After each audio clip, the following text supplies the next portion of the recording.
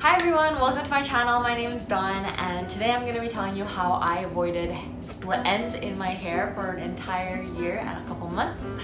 Um, if you want more content like this, like this video and subscribe to my channel because my hair be real healthy and I want to share with you all the tips that I have for keeping your hair healthy as well.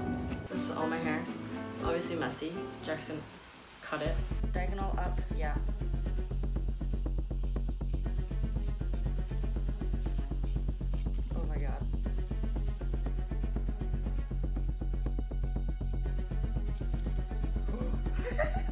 So nervous to like see how it looks with my real hair.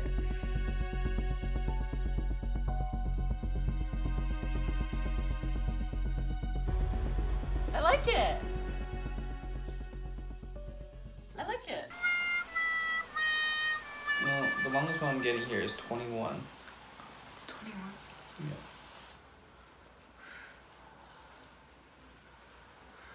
Twenty-three. Oh my god. So we'll just say average is Average 21. twenty-one.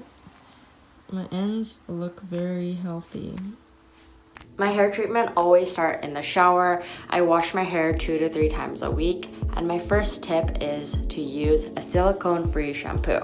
I use Garnier's Whole Blends silicone-free, paraben-free shampoo. Silicone is a man-made product, so it's basically like a plastic coat on your hair and it actually doesn't allow other nutrients to get into your hair and it takes away from it being able to absorb any sort of moisture.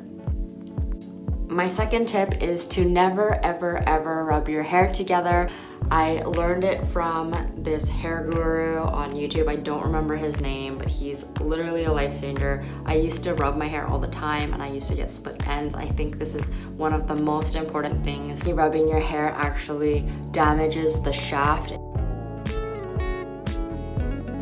Tip number three is to towel dry your hair and then air dry. I try to avoid heat as much as possible. Part of me is because it's I'm lazy. I know that when I put heat on my hair, either to straighten it, curl it, literally can feel my hair breaking down. So I'm gonna show you how I treat my hair after I shower. Um, I use a product called Vitiv Hair and I'm almost at the end of the bottle so they were kind enough to send me a new box. You get a brush, the actual bottle, and a pump. So this is super travel friendly and then you can use this for easy use and comb is used to evenly put the product in your hair. All you have to do is with your wet hair, use two pumps and massage it in your hair. In the instructions it says go from the bottom to your roots and I feel like that's because they don't want you to have any oily hair. But if you stick to the two pump, two to three pump recommendation and you spread out the product evenly, you should not have any oily hair. So sometimes use a third pump if I feel like there's not enough product, which I'm doing now. And I just run my fingers through my hair and if that doesn't work, you can just use the comb. My sister has bleached hair and running a brush through her hair right after a shower is really hard for her and she said with this product it's been a lot easier. I love Vitiv Hair because it makes your hair super super soft after. The reason why I'm not using a comb is because I'm a little bit lazy so I don't really do that part. It also just helps to evenly distribute the product but I find that my fingers do a good job as well. Vitiv Hair is the first hair vitamin I've ever used. Uh, I love that it doesn't make my hair oily. It always feels really great. Vitiv Hair is cruelty-free, silicone-free, paraben-free, and gluten-free, and is made of all natural ingredients full of vitamins and omega fatty acids.